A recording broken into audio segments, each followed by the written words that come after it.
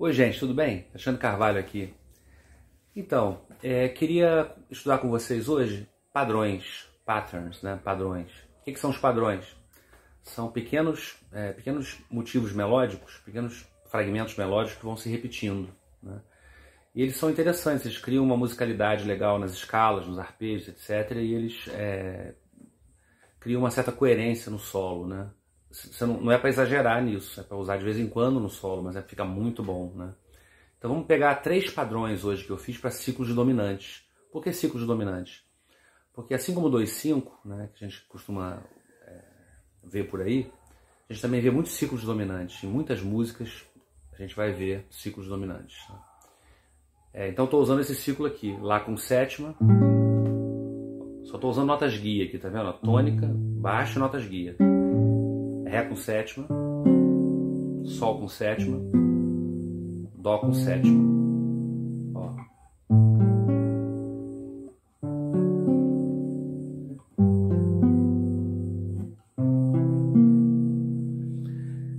É, vamos treinar essa base um pouquinho. Eu fiz uma levada de jazz nela. Estou usando o dominante substituto, o baixo aqui, ó.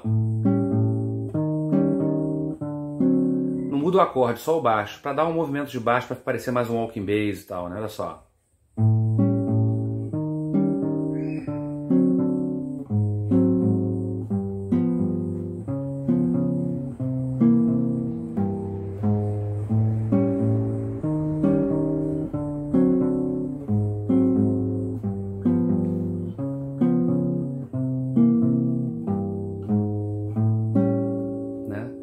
Tá aí no PDF, logo a primeira linha do PDF que tá aí, né? Mais uma vez, ó.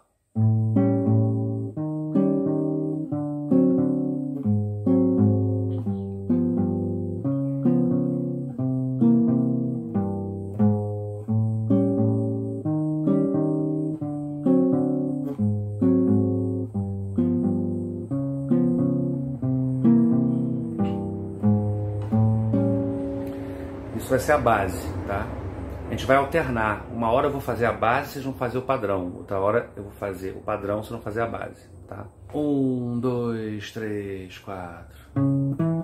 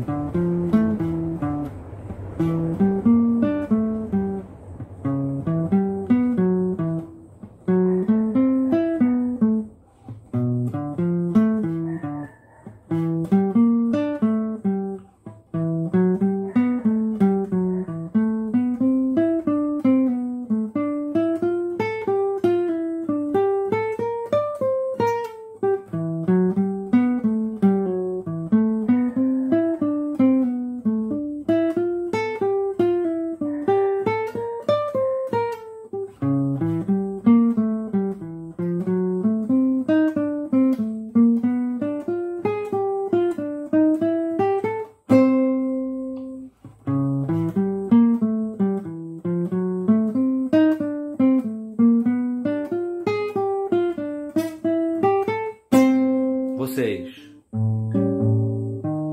Acabei fazendo duas de cada. Faz duas de cada. Duas vezes cada padrão.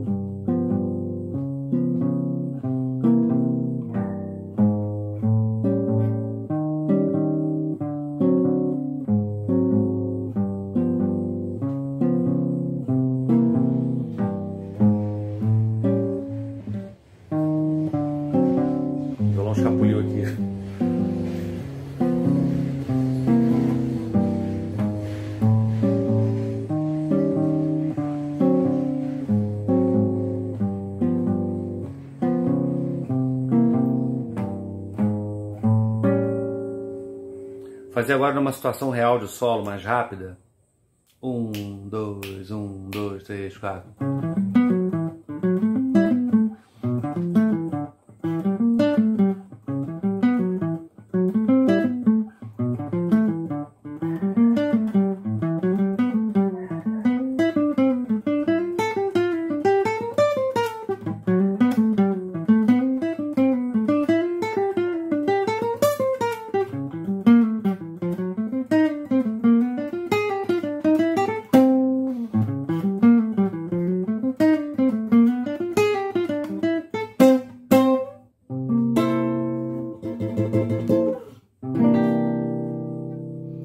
Isso aí, gente. Divirtam-se.